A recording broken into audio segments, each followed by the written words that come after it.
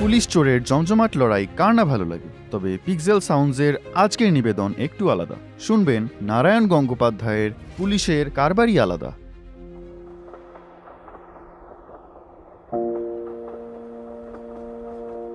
সেই কানে জড়ললা লালটাই পরা ভদ্রলোক বর্ধমান স্টেশনে চা খেতে নেমে যেতেই টপ করে লাফিয়ে পড়লেন আরেক ভদ্রলোক।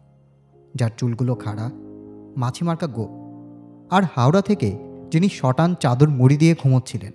মাছিমার্কা গোফ চট করে আমার পাশে এসে বসে পড়লেন। তারপরেই ফিসফিস করে আপনি অ্যাডভেঞ্চার পছন্দ করেন?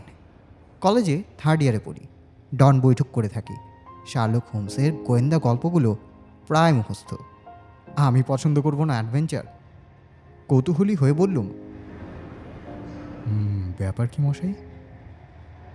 এ ব্যাপার প্ল্যাটফর্মের দিকে একবার তাকিয়ে নিয়ে বেশ করে দেখে শুনে মাছিমার্কা বললেন, ওই যে ওই যে কানে জড়ল আর লাল রঙের টাই। এখনই যে চা খেতে নেমে গেল, ওকে চেনেন? ও হচ্ছে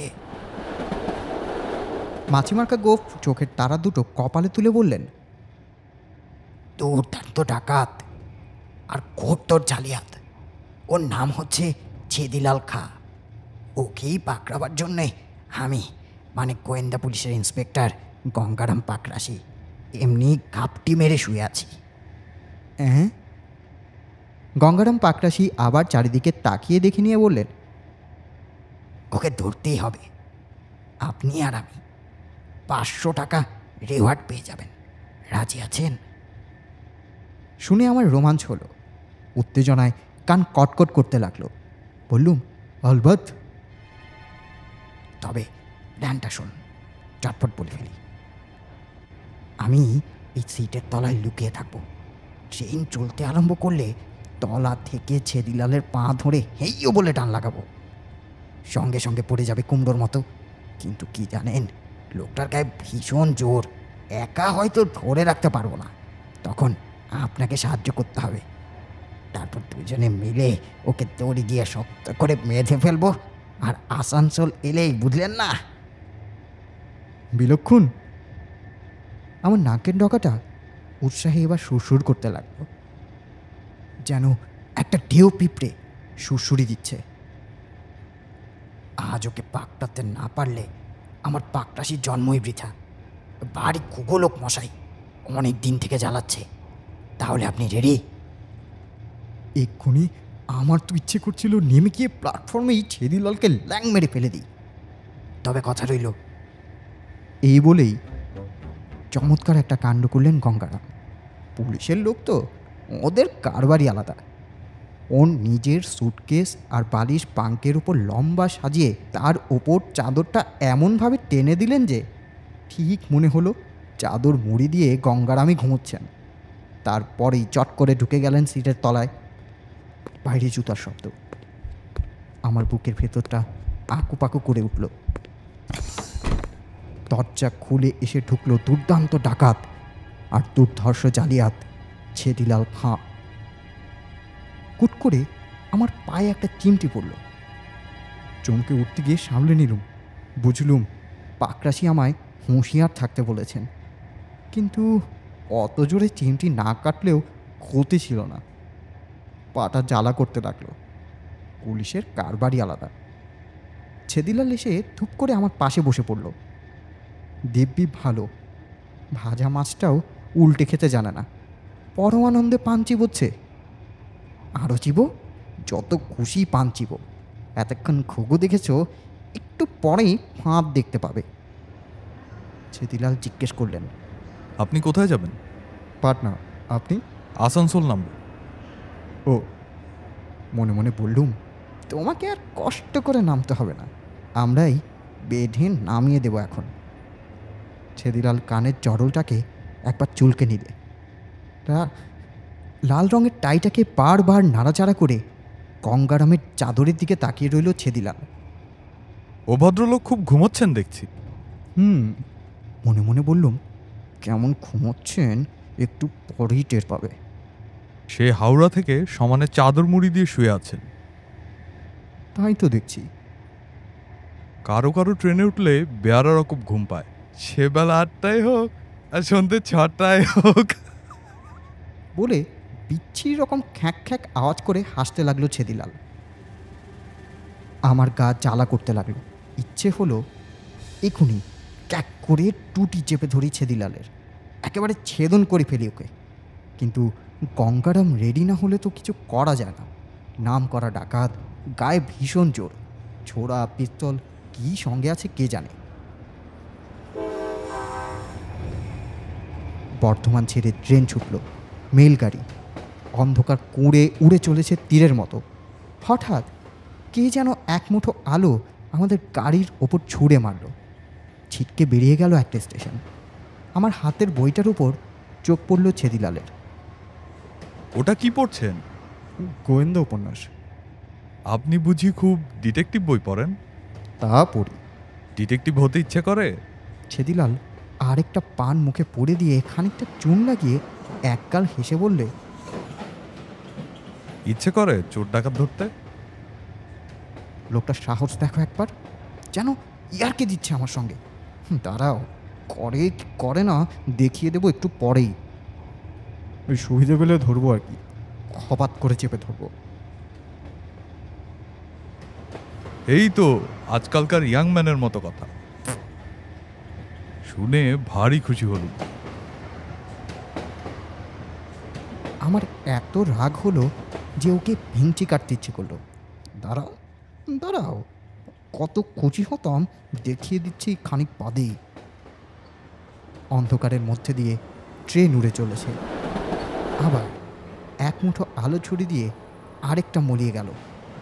ছেদিলাল আমার পাশে বসে নিবিষ্ট মনে পাঞ্চি করছে আমার কান কুটকুট করে উঠল। সুরসুর করতে লাগল নাকের ডগা। এত দেরি করছেন কেন কনকারাম? ঘুমিয়ে পড়লেন নাকি ভদ্রলোক? কেমন খটকা লাগল। যেই ছেদিলাল বাইরে পিক ফেলার জন্য মুখ বাড়িয়েছে, আমি টুপ করে সিটের তলায় পায়ের একটা গুঁতো দিলুম। অমনি কোক করে আওয়াজ। ছেদিলাল চমকে উঠল। কিসের আওয়াজ বলুন তো? এ সর্বনাশ টের পেয়ে গেল নাকি? আমি তাড়াতাড়ি করে বললুম না না কোথায় আওয়াজ? ওই যে কোক করে শব্দ হলো? ছেদিলারের দু চোখে গভীর সন্দেহ। বললাম "হ্যাঁ, না না ও কিছু না। আমি একটা হেঁচকি তুলেছি কেবল। ছেদিলাল একটু চুপ করে থেকে আবার সামনের বাঙ্কের দিকে তাকালো। খুব নিঃসার হয়ে ঘুমোচ্ছেন তো ভদ্রলোক? তা ঘুমোচ্ছেন। এমন ঘুম কি ভালো? একটু নিঃশ্বাস পর্যন্ত পড়ছে না। দেখেছেন? মারা গেলেন না তো। খামোখা মারা যাবেন কেন? হঠাৎ মারা গিয়ে ওরই বা লাভ কি? আমার ভারী অস্বস্তি বোধ হলো। কার কিসে লাভ? কিছুই বলা যায় না। একটু দেখতে হচ্ছে যে। বলি ছেদিলাল উঠে দাঁড়াতে গেল। সঙ্গে সঙ্গে আমার পায়ে সেই কটাং করে চিমটি রাম চিমটি যাকে বলে আমি আর্তনাদ করে উঠলাম। আর ছেদিলাল এমন চমকালো যে গলায় পান আটকে গিয়ে ভীষণ খেয়ে গেল একেবারে। অমন চেঁচালেন যে? পায়ে বাত আছে কি না? কটাং করে লাগল। তাই এই অল্প বয়সে বাদ লক্ষণ খারাপ বলে আমার দিকে কেমন করে যেন তাকালো ছেদিলাল। তারপর বলল হুম বাঙ্কের ভদ্রলোকটাকে একবার দেখতেই হচ্ছে। এমনভাবে মরার মতো ঘুমানো কোনো কাজের কথাই নয়। বলে ছেদিলাল যেই দাঁড়াতে যাবে তক্ষুনি সেই রোমাঞ্চকর কাণ্ডটা ঘটল। সিটের তলা থেকে সরাক করে দুটো সারাশির মতো বেরিয়ে এলো পাকটাশির হাত। পটাং করে পাকটে এলো ছেদিলালের পা। সঙ্গে সঙ্গে ছেদিলাল হরাম করে মেঝেতে ফ্ল্যাট। তারপরেই গঙ্গারাম একেবারে ছেদিলালের বুকের উপর। আর ছেদিলাল প্রাণপণে পা ছুটতে লাগল। আমি লাফিয়ে উঠে ছেদিলালের ঠ্যাং চেপে ধরতে যাব। সঙ্গে সঙ্গে কী কায়দায় ছেদিলাল শুশুকের মতো উল্টে গেল। আর গঙ্গারাম তার পেটের তলায়। ছেদিলালকে গাপটা মারতে যাচ্ছি। গঙ্গারাম সঙ্গে সঙ্গে তাকে পটকে দিয়ে উপরে। যেই গঙ্গারামকে সাহায্য করতে যাব, সঙ্গে সঙ্গে ছেদিলাল আবার তার উপর চড়ে বসল। আমি ছেদিলালকে গাট্টা মারতে গেলাম আবার গঙ্গারাম তার উপর চড়ে বসল।